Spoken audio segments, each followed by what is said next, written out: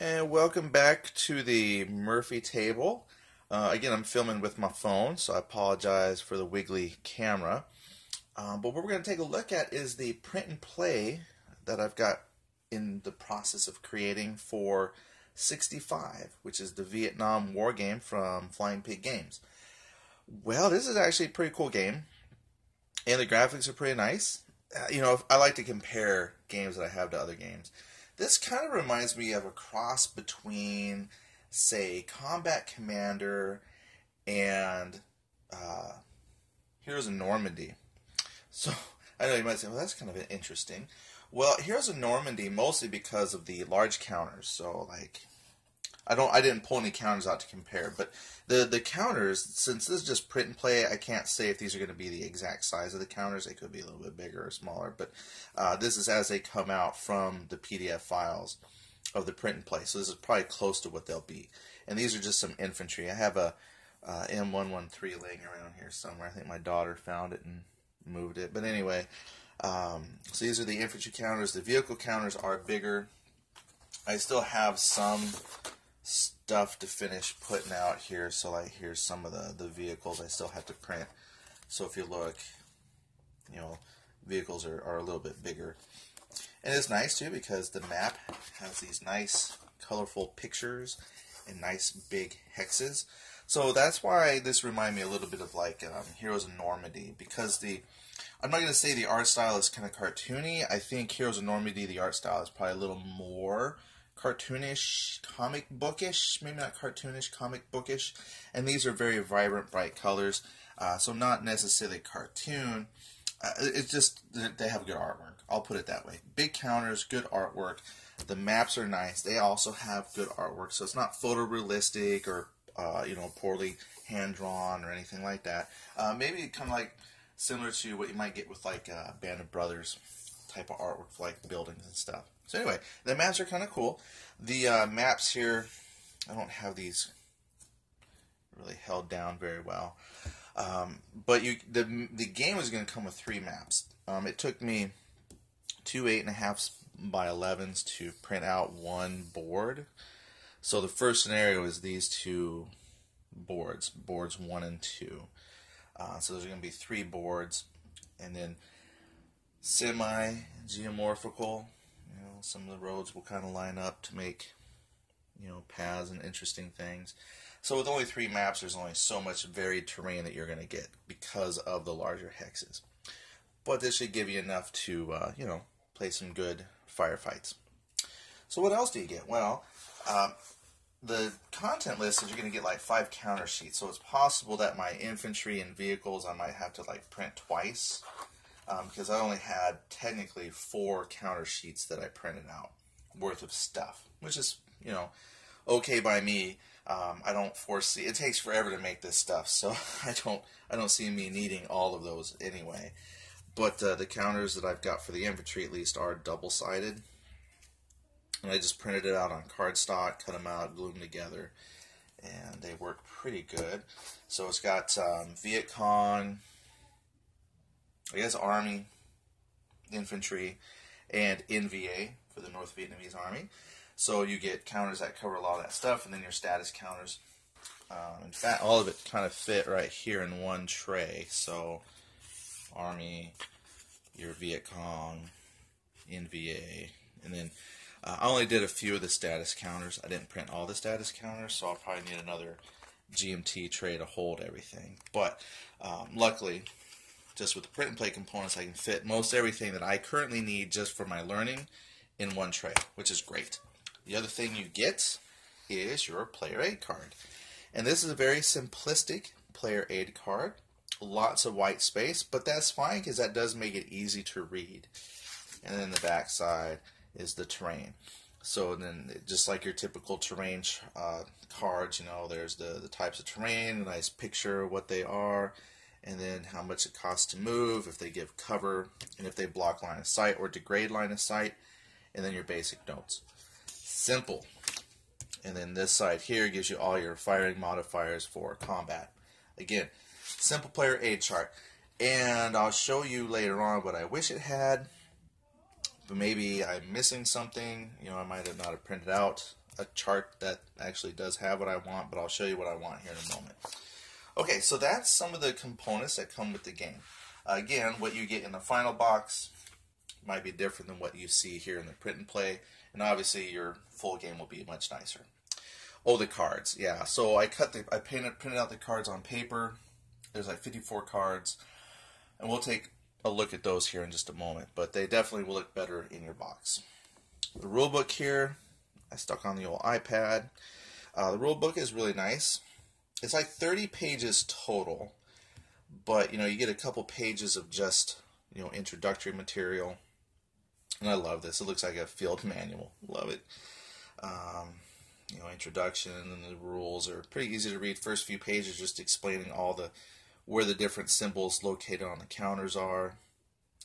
And then explains how to read your cards, and then the sequence of play. Breaks down the sequence of play, goes into transporting your units. Yeah, so 32 pages. Um, and then an example of ranged combat, at least between infantry, you know, determining damage, if you will. And then some examples built in. Um, calling in artillery, and uh, there's opportunity fire, assault combat, vehicle combat. So it's got what you would expect. Oh, helicopters, helicopter rules. So it has most of what you would expect from a you know modern day firefight game. And then right here, this is what I wish I had on a whole separate page is the abilities and the powers. So when you look at a person, let's zoom in here. There we go. You've got, I should have brought my little pointer. There's movement, firepower, and that symbol, and that symbol, and that symbol are used in armored combat, like with tanks. Then some units have powers. Now, not like Night of Man. I guess I should say that too. This is based on the Night of Man card-driven system. Uh, in Night of Man, just because of the alien invasion, some humans have gained psychic powers and whatnot. Uh, so in this game, when we say power, you just think of it maybe more as a special ability. And then they have special abilities. so there's like melee type stuff, and then there's, you know, well, this here is like for melee combat, and then there's all kinds of powers. Like if I look over here at some American troops, they have different powers down below. And that's the problem here is I have to keep coming back to my book to try and look up what all the different symbols are. So Viet Cong have a charge, the Americans have 40 millimeter grenades, and then they also have smoke capability. And then there's the rules for that. So if I could print that out, or if they just had it on a separate cheat sheet for me, that would be fantastic. I'm sure somebody on Board Game Geek will do that for me. Uh, anyway, then you just finish out with some uh, fortifications. Again, I love the artwork. And then you go into scenarios. I didn't count. Let's see. Scenario seven, eight, so eight scenarios that come with it, and then progressively you add more equipment and complexity to it. Uh, the first scenario is just you know infantry coming into a village to clear it out of the VC. So that's what I did here is I laid out maps one and two, but instead of putting out all the pieces, I just to try and get a feel for how the game plays, I just put out a couple infantry.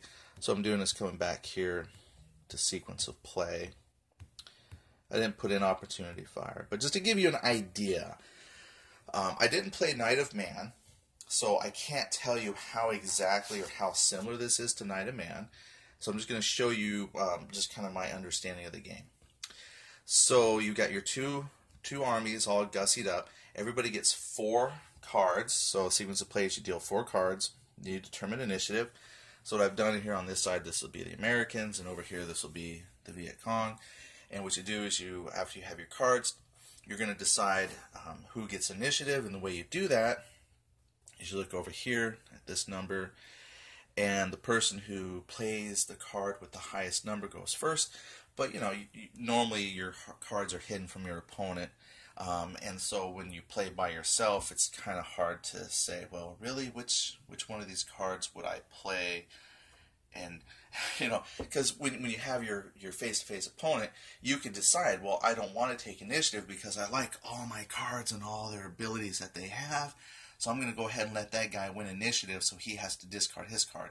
Because the person who loses initiative gets to keep their card that they used for the bid. The person who wins initiative discards the card. So you might decide i love all my cards so i'm going to purposefully pick a low number so I can lose initiative because I want to keep heavy artillery and flanking fire.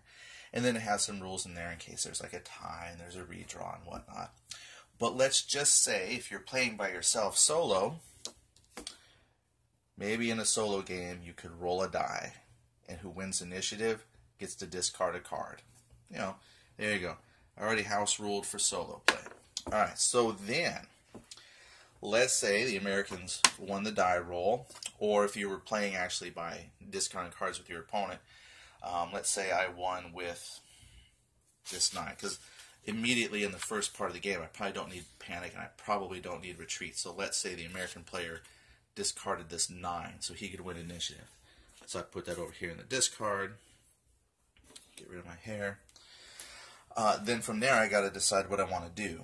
And that's what playing all these cards are for. So if you want to move, you got to have a move. If you want to shoot, you got to have a shoot. Um, then yellow cards will modify your actions. The green cards are your actions, and then the red ones. Let's see, what do they describe the red ones as? Red, they denote an action to be played during the opposing player's impulse in reaction to something you're doing. Okay, um, so like here's the first fire. So an example, that one says your opponent is shooting at you, but you can play first fire from your hand to shoot at him first. Alright, so um, let's look at our map here. So I've got some American units here, got some Viet Cong hiding out down here. Um, so nobody can see each other because there's blocking terrain. So the American units would need to move if they wanted to shoot at or engage. So do I have any moves? Oh, I have a fast move. And it says play this card to move one hex of eligible units, add 1 to the unit's move. Now there are stacking rules, and the stacking rules are not very complicated, but it's one of those things where you have to, um, you know, just understand it a little bit better or remember it better than I do. Because you can have like three units in a hex, but only like two infantry in a vehicle. So um, how you mix the units in the hex, you just have to be aware of those stacking limits. Like so, for example, if I had a couple units in a vehicle and my vehicle was loaded with infantry, they couldn't unload because the hex already had two infantry. So right here, I got nothing to worry about stacks, you know. Um, so even though the fast says you can move a stack, I don't have a hex with multiple units. So the fast move is probably overkill for move, but I need to move. So I would play fast move, for example, discard, and I'd say I'm going to move this guy, let's move this guy. So I would move him, blah, blah. And since he gets an extra move point, that's four total. So one, two, three, four to move into jungle. Because my player aid chart tells me, you know, that jungle takes extra movement. So this is not really much different than a lot of your typical war games, except like Combat Commander, the cards dictate what you can do. So if you don't like card-driven games, then you're probably not going to like this. However, compared to Combat Commander, the card-driven system is a lot streamlined is probably a good word. It's a lot more streamlined. So really, instead of dice rolls, they just have the number. So uh, if you were comparing this to Combat Commander, Combat Commander would show you the actual dice roll. You could just say this game shows you the results of your dice rolls. So I moved a unit. So what I would have to do, kind of like like lock and load, I'm going to put a move because he moved and then that will affect certain actions. So sometimes when your opponent shoots at you, there's a bonus to hit moving targets, and since he moved, he's considered moving until the turn ends and he does something else, uh, which brings us to combat. So let's just say I did my one action on my one impulse, because that's how the game works. You do one action, you can modify that action by any yellow cards, which none of them had. Um, so American player, his impulse is over. Viet Cong is their impulse. So they look at what they've got. There's bloodlust, fast move, bloodlust. No shooting. Okay, well that doesn't help. and they might not want to move. So what you can do on your turn is pass. You don't want to do any actions, or you can discard a couple cards. So I'm going to say we're kind of on the defense. I'm not going to worry about moving, so I get rid of those. Then I'm done. Then it comes back to the American, and then the first thing you do is you replenish your cards. Just like that. And then he looks at his cards. Um, I don't see a move. Well, I guess I should have kept that move from the last one. Um, but, you know, if I had shot, I have a reload and fire. So if this guy had done shooting instead of firing, I could do a reload and fire. Um, but now it's, you know, the end of the turn. Well, at least my impulse, because I say, well, pass. I got nothing I want to do. So let's get rid of reinforcements and rally. So that's something you can do at the end of your impulse is always discard up to two cards. Uh, you'll just have to keep those for now. Then the Viet Cong player, his impulse comes up. So just like Combat Commander, card management is going to be a thing. And it's possible that you might go a couple impulses with nothing going on. Now, this one right here, in turn. Well, what they do, instead of having uh, that just a card that just says time and your turn is over, if you play a card for like a combat results or something of that nature, then like if I drew this as a combat result to decide if I got a hit on fire attack, but it's in turn, so I'd resolve my fire attack and then um, I'd have to memorize, remember that there was an in turn drawn. And basically your scenario will tell you, like scenario one says, after three in turn cards have been played, the turn is over, and then that's when you clear counters and reshuffle cards and things like that. That's when uh, you start a new turn. Now, also in your turn, if uh, everybody passes, before you move on to the fully the next turn, there's a reserves phase. So anybody who didn't move can now move during the reserve phase. And then that's one reason it kind of reminded me of like um, Heroes of Normandy. During that reserve phase, you can't play cards and do things like that. You just get very limited movement, and that gives you a chance to kind of shuffle units around on the board. So that's kind of the basics. So combat. Well, I, I had I didn't draw a fire card. I was surprised. There's one. Let's just say turn went along. I drew a fire card, so that will let me shoot. So let's say time had passed, and this American unit was ready to fire. So let's say we're a couple turns into the game, and new turn, and he's ready to shoot. So I have my fire card. I play that to trigger the action. I look at my firepower, which is 2. My Viet Cong riflemen are 1. So these guys are going to have to get close because let me show you how combat works. It's not difficult. It's kind of simple, which is great. I'm really liking simplicity lately. So you look for HE, high explosive range modifiers. You look for the range. Um, so if you're like adjacent or up to two hexes away, rifle units get a plus one to hit, which is great because Viet Cong only have a rifle skill of one. My Marine, or I don't know if these are Marines, maybe they are Marines. I should probably just go with Marine. So, but I thought they had a Marine expansion. So I don't know if they're starting me off with Army, Infantry, or Marines. I guess I should have read the intro to the rule book better. So anyway, I'm going to take my firepower, modify it by range, modify it by any other notes, like, uh, no, that's AP. It says right here, plus one when firing on moving units, marked with moved, any range. So, that's why I was saying if, if uh, my Viet Cong person, if the was reversed shooting, even though he's got a firepower 1, based on range, check it out, range 1, 2, within 2 hexes he could add 1 to his firepower and add 1 for moving. So that means his firepower would have been a 3. With these guys, on the other hand, it's 2, because we're saying they didn't move. It's 2, 1, 2 for range, so they add 1 to that is 3. They didn't move. But if they had moved, then that would have bumped him up to 4. Like if we pretend he had moved into the building. So you, you have a couple different ways to raise up your firepower value. But let me tell you why that's important. Once you then look at their terrain, modifier, if there is one, or any other firepower modifiers. If your firepower attack is zero or less, the attack is boarded and you can't do it. Because here's how combat results are determined. So let's say nobody's moved, I'm just straight shooting here. I got two for my firepower plus one for range. So that's three firepower modified by the building. Let's take a look at what a building result.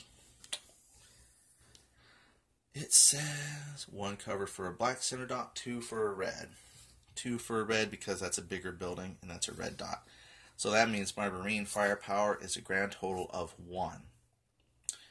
That means I draw one card and I look down in this corner for a hit result. And combat results over here tell me that because I played a fire order, I need to hit on green hits, which I did. So that would put a shaken result on these guys here. And then they get no shooting and half movement. And now we would be free to start moving up and charging these guys. But if I had my rally cards, then the Viet Cong on their turn could uh, rally, shaken. You know, so that that's just how the, the basic game goes. It's really not complicated. It plays pretty much like you would expect most war games, except it's driven by the cards. Um, but yeah, the units go from shaken to reduced on their flip side. And then if they're shaken and reduced and take damage again, they're eliminated. So rally is really, really important to keep your units fresh or at least get the shaken results off. And there's rules in there for reconstituting uh, units, which I skimmed over. So this, you know, I apologize if this is not very in-depth. But I'm hoping this gives you a basic idea of how the game plays. I think when this comes out and people can actually get their hands on the full game, or if you can actually make a better print and play experience than what I can make for myself, I think you'll have fun with the game like I said, it's not overly complicated. It's fairly simple. It's just that I wish I had a cheat sheet to help me remember all the different, you know, powers and abilities. That way I could make for a more robust engagement because I'd have to go back and look how to use, you know, my 40 millimeter grenades or how to use smoke. I'm sure in time I would, you know, remember that and the symbol would just trigger the memory like, oh yeah, they got 40 millimeter grenade and then in time I would remember how to do the rules. But until then, a cheat sheet would have been nice. But other than that, no, I think this is going to turn out to be a, a pretty fun experience if you enjoy modern tactical wargaming. Because the difference between this and, say, Combat Commander is the fact that Combat Commander doesn't have armored combat in it. They don't do tanks, it's all infantry. I know they've got an expansion coming out with some basic tank rules in it, but I haven't seen it. But this, from the get go, accounts for in the cards everything you need for the armor piercing combat results, which I'm not explaining how to do that now because I haven't even really put together my tanks yet. So this is just kind of showing you infantry. But I hope you enjoy it. Thank you for taking the time to watch the video. If you have any questions, leave those in the comments. But if you have opportunity to maybe look at the print and play